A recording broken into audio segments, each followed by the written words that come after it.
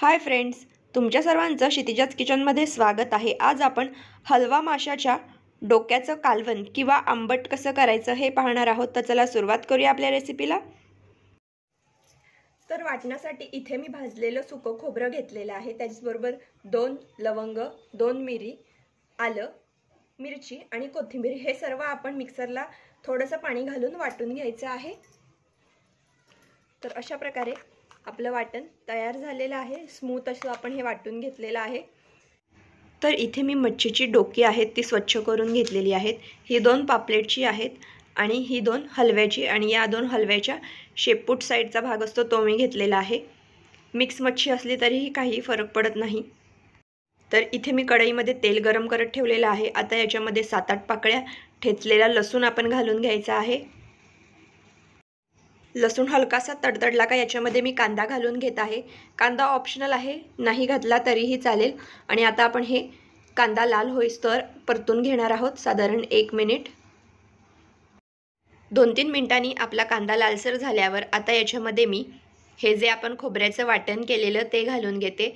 आणि हे सर्व वाटण आता याच्यामध्ये मी घालून घेत आहे.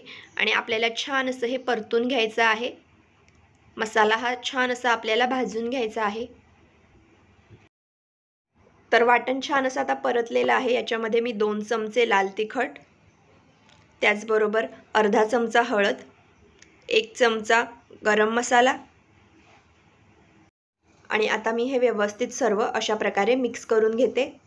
म्हणजे मसाला छान असा एकजीव होईल. मसाला व्यवस्थित मिक्स झाल्यावर आता याच्यामध्ये मी पाणी घालून घेते आणि हे पुन्हा अशा प्रकारे व्यवस्थित मिक्स करून घेते.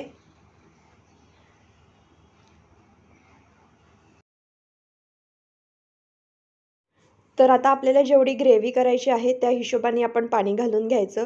इथे मी साधारण दीड पेला पाणी घातलेलं आहे. आणि मग अशी मिक्सरच्या भांड्यातलं पाणी घातलं ते पाणी. आणि आता आपण हे छान असं उकळू देऊया. तर आता याला उकळी आलेली आहे. आता याच्यामध्ये मी हा चिंचेचा कोळ आहे तो घालून घेते. आणि हे एकदा व्यवस्थित मिक्स करून घेते. मिक्स करून झाल्यावर आता याच्यामध्ये मी हे जे आपण फिशचे तुकडे घेतलेले ते घालून घेऊया. आणि आता आपण हे फिश मीडियम फ्लेमवर साधारण सात मिनटं शिजू देणार आहोत. सात मिनटानंतर आपलं हे फिशच्या डोक्याचं कालवण तयार होणार आहे. तुम्हाला हा व्हिडिओ आवडला तर लाईक शेअर कमेंट नक्की करा. त्याचबरोबर चॅनलला सबस्क्राईबसुद्धा करा. तर आता याला छान उकळी आलेली आहे. अजून एक ते दोन मिनटांनी आपण गॅस बंद करून घेणार आहोत. साधारण सात मिनटांनी आपले फिश छान असे शिजलेले आहेत. आता याच्यावर मी थोडीशी कोथिंबीर चिरलेली घालते आणि गॅस बंद करून घेते. आपलं हलव्याचं आंबट तयार झालेलं आहे. व्हिडिओ पाहिल्याबद्दल धन्यवाद.